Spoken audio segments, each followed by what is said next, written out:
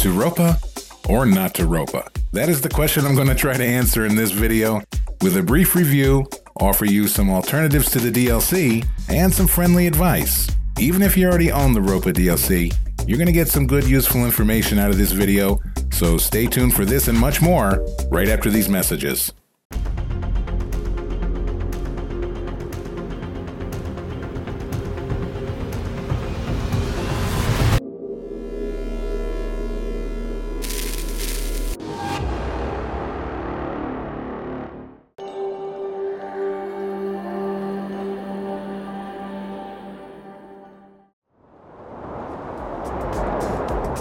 The Ropa DLC is available on all platforms for the same price, $7.99 here in America, and that's a small amount to pay for some, but for others, that's giving up lunch for a day or two in order to be able to purchase and enjoy this pack of equipment. So, what if you want to have a Ropa for free or the look of a Ropa? Well, I'm going to show you some excellent alternatives and I'm going to link every one of them down in the description that you see here in the video today. So even if you have the DLC already, there's some pieces I'm going to show you today that you still may want to add to your folder.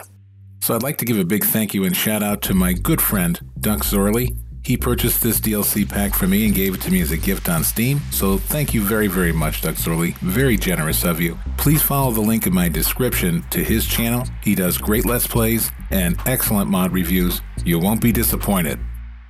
The first thing I'd like to address is the Ropa header trailer. It has this mortise and tenon type mounting system where these uh, clamps lock onto these pegs and it kind of sits side saddle. And if you pull away too quickly, it will fall on the ground. And that is unlike the Holmer trailer, which the header has its own little area that it sits in, nice and stable, and I've never had a problem with that. So the body styles versus the Tiger and the Terra Dos are noticeably different when you look at them close up, but is that enough to warrant the money to spend on the DLC when they do the same job at its core function? I mean, it sure does look pretty, with the exception of the inside. I think it's good or okay but I think the textures used in the Ropa cab are a little blurry and kind of jagged, whereas I think they took a bit more time and care when they did the Holmer interior. It's much more crisp, and the um, the cab is more open with respects to viewing angles. So let's have a listen to the new motor sounds.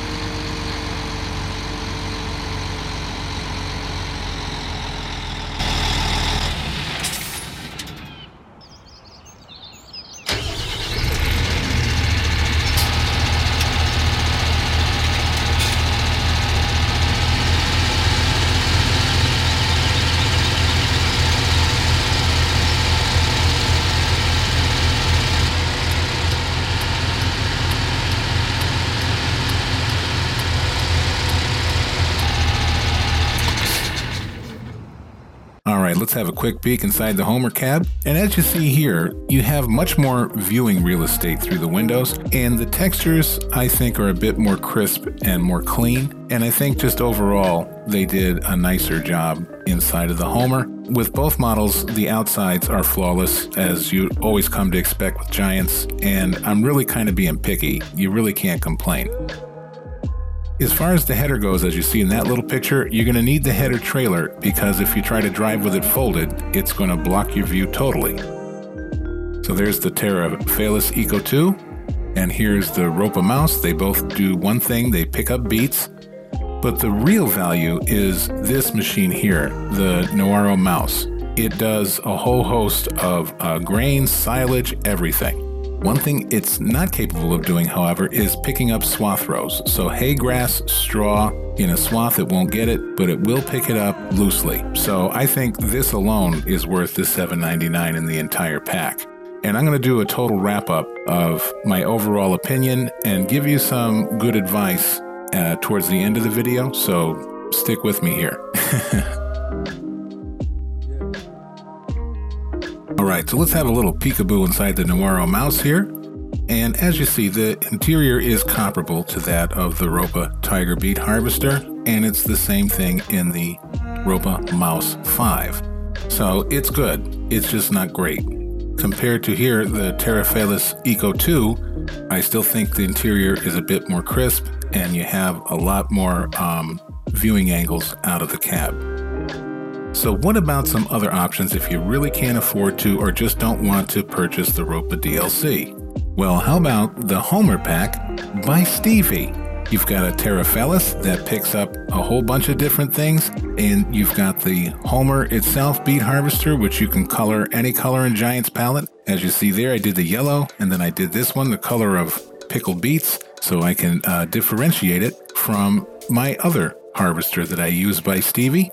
That's right, ladies and gentlemen, the man has also given us a potato harvester version of it. Thank the Lord. Now I don't have to use that abomination, the uh, Grimm Tectron. really don't care for that. It's very unstable and wobbly on slopey, bumpy terrain, and I really don't understand the whole three wheeled setup there. It kind of makes it unstable from the get go. Oh, and it is pronounced Grim. I did go to the manufacturer's website and get the pronunciation. But we also have the Keiler 2 by Ropa, this is pretty much identical to its counterpart right over here, the Grim version of that on the left there. But the difference with this one is you don't need a haulm topper on the front of your tractor. This takes off the tops and scoops up the potatoes all in one fell swoop. Now, the problem I do have with this one is these little deals right here, these little cylinders. The crops have to go through the middle of those cylinders like two fingers. And I find that if you're using a tractor with wide tires, the harvester doesn't swing out far enough to um, accommodate for that. The second problem is what I'm wondering is if the potatoes aren't going in between those that opening in between the two cylinders, is it deleting what it's hitting? So I find to use the row crop tires, it worked out pretty well. But like I said, I'd have to do a further experiment to see just if it was deleting what it's touching on the sides. And then our obligatory Tectron demonstration here. Here it is harvesting the potatoes. It really isn't that terrible a machine. Like I said, I do find it um, a bit unwieldy especially on slopy terrain or bumpy terrain. And the Beet Harvester version, uh, the same thing.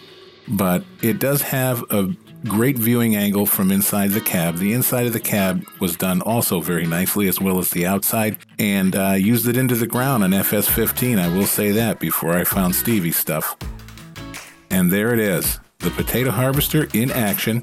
Works just like the beet harvester, and I really enjoy using this a lot. So here we have Stevie's Terrados Holmer Beet Harvester in Ropa Yellow.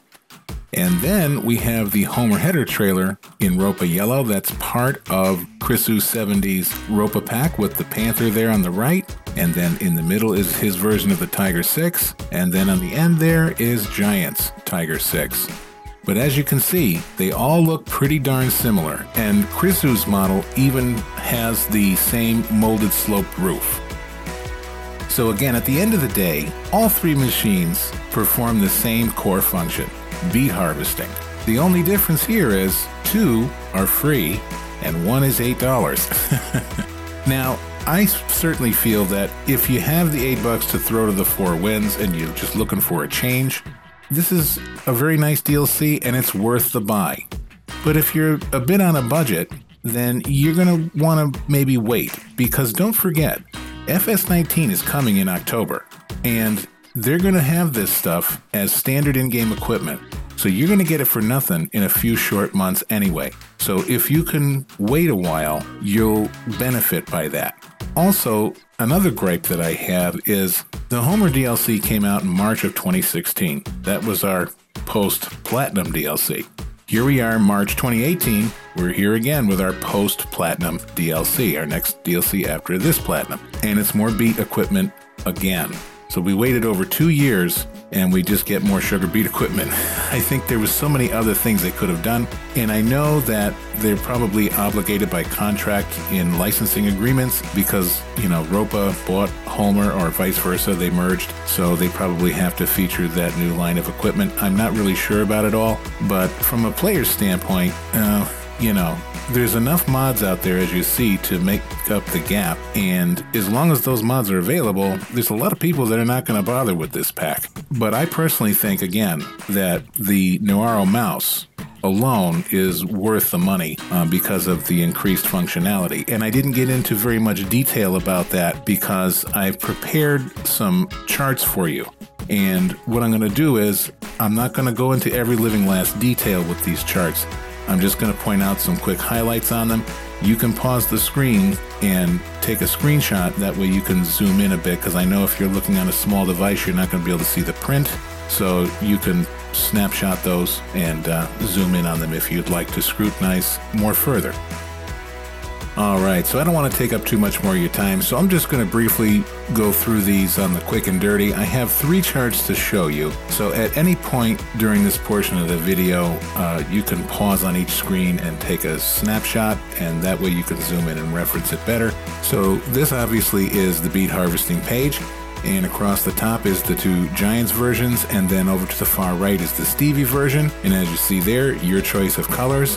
He's got a 60,000 capacity. All of them across the board have a 4 meter working width. The Giants Holmer and Giants uh, Ropa, uh, the Ropa has 43,000 capacity and 45, I believe, on the Giants. Down across the bottom is the uh, Ropa mods from Chrisu 70 and the Panter, which is the smaller one, that has the standard Holmer header, which is a 4 meter working width, and then the Ropa Tiger, his version has a 5.5 meter header, so you'll benefit from the extra working width on that one. Okay, so the Giants trailed potato solution across the top left there. The Ropa trailed potato harvester is $120,000. It has a 2 meter working width and a $200 a day maintenance tag. And then you have the Grimm SE260 and the KS75-4 together is $121,000. Same working width, $10 a day less on maintenance. And it seems that you might think that you're going to save $1,000 by purchasing the Ropa over the Grimm together. Well, you're actually not because the ROPA has that extra $10 a day maintenance fee over a course of 100 days that that thing sits on your farm. It's going to cost you that $1,000. So you're not saving anything buying the other machine, essentially. On the bottom right, we have the Stevie Holmer potato solution. The harvester and the header together cost you 340,000, which comes in a lot less over the uh, Tectron at 429,000. Stevie's mod, of course, you have your choice of colors, so it's cheaper and it's more efficient. And last but not least, we have the Terrafelis and the Ropa NawaRo mouse.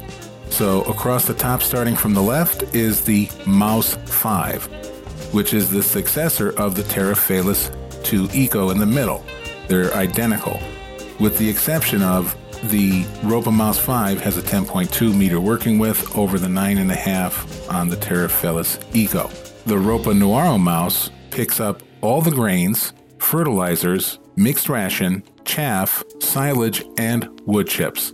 Now, down in the bottom right corner, the Stevie model, your choice of colors, and it picks up the potatoes and the beets together. And then it does wood chips, silage, chaff, mixed ration, and then hay, straw, and grass, and all of that. And again, if they're in a swath row, it's not going to pick it up. They have to be loose in a heap. So, in some ways, the Stevie version of this mod might fall a little short over the Ropa mouse because the Ropa picks up all the grains and everything else, but it doesn't pick up the root crops or the hay, straw, and grass. So, my advice to you is if you're not getting the Ropa pack, still download the Stevie pack. You can use a conveyor, even there's snowblower mods that pick up everything. There's a lot of different solutions out there to make up for that. But if you already own the Ropa pack, again, still download the Stevie pack because you're going to have the ability of picking up both the sugar beets and potatoes with one unit instead of two separate units. So it's still a good benefit to your farm. Now, this is not for tiny, tight farms either. These machines, as you saw in the video, when they're opened up, they take up a lot of real estate So you want to have plenty of room for the machine to maneuver while it's unfolded, along with the tractor that's going to be there with the tipper that you're going to load into. So there's a bit to consider there. So I hope this video has helped you out a little bit and maybe enlightened you a little bit or put your mind at ease and given you some other options.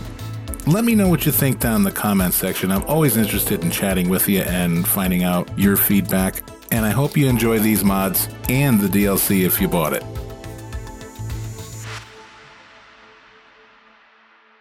This has been Eustace Pharmer, and I'd like to thank you very much for tuning in. If you liked the video, please consider subscribing and tap that alert bell. Also, there's a thumbs up button right under your screen. Please tap that so I know you enjoyed the video. If you didn't like the video, there's another button. Feel free to tap that one if you're a big poop head. Until we meet again, take great care of yourself, okay? And bye for now.